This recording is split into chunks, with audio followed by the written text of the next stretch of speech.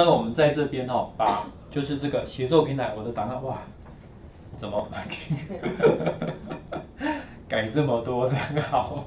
协作平台答案分享出来了。那各位进来之后啊，进来之后有没有发现，像我上面就有看到一个有没有？但是不止一个啦，因为它现在那个协作的名称啊，它并没有显示中文。这里有一个，你看下面有没有看到另外一个？就是哪些同学在做哪些编辑，上面都看得到。你看这有它一个按钮牌哦，嘿，就看你是编辑哪一个页面。所以你看点过来，有没有发现我这边有相关的教学，对不对？然后即色即品点过去，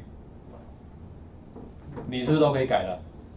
好，这样的话呢，我们就跟我们刚刚用这个白板一样，等于它把协作的部分又怎再怎么样，再往外是不是延伸了？以前其实旧的协作平台它也有协作的功能，但是它的协作是帮你记录在什么版本，也就是说谁编辑的我帮你记录下来。现在就不是，而是什么真正及时的这样互动，好，及时的互动。所以这个也是它的一个优点，哦，让大家体验一下。比如说，哎，如果你要跟同学一起讨论，哦，同一个组员的，或跟老师，你就可以像这样子一起来处理，就比较快。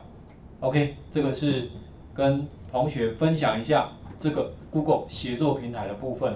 等一下呢，我们就来找看看怎么样让各位的协作平台可以比较丰富一点，对不对？因为现在你很明显的发现，有没有技术门槛降很多？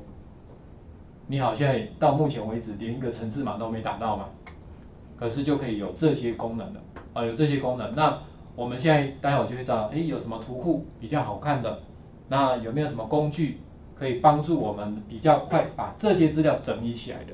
这样以后各位在做这些，不管是专题的还是所谓的这种计划案的，就会比较方便。OK，来先还给各位。